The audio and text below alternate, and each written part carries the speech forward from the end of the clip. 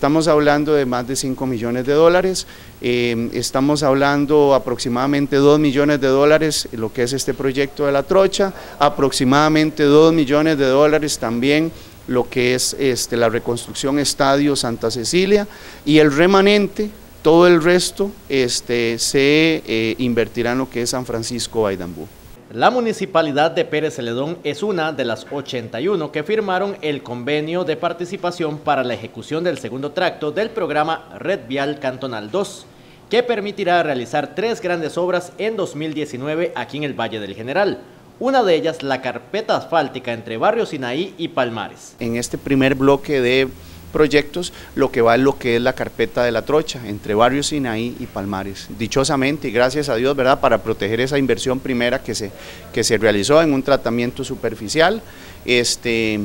eh, ese es un primer proyecto que esperamos estar viendo y según pues, los tiempos que va manejando el MODI, el BID, esperemos que a medio otro año pues ya tengamos ese proyecto ya ejecutado, ya realizado.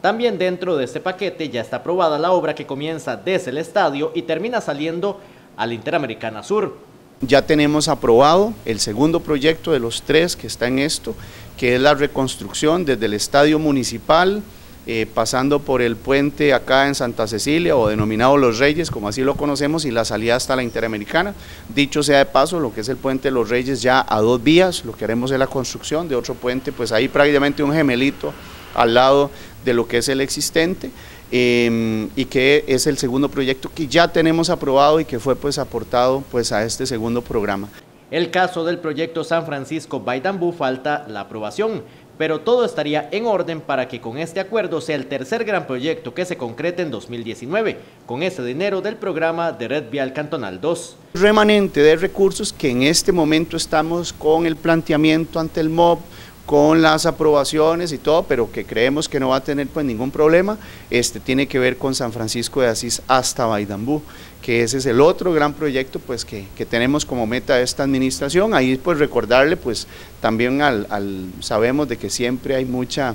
haber mucha pregunta, mucho cuestionamiento de ese sector entre San Francisco de Asís y el sector de Pista Las Lagunas, este, de cuál es el transcurrir del proyecto. Bueno, esta primera parte, San Francisco Baidambú, es con recursos del MOBIT, entre Baidambú, Pista Las Lagunas y hasta el Fernando Bolio es a través del crédito que ya está formalizado ante el IFAM, dichosamente, gracias a Dios, en firme ya por parte de la Junta Directiva del IFAM. Pérez Celedón tiene la segunda red vial cantonal más larga del país, OSA y Buenos Aires también serán beneficiados en 2019.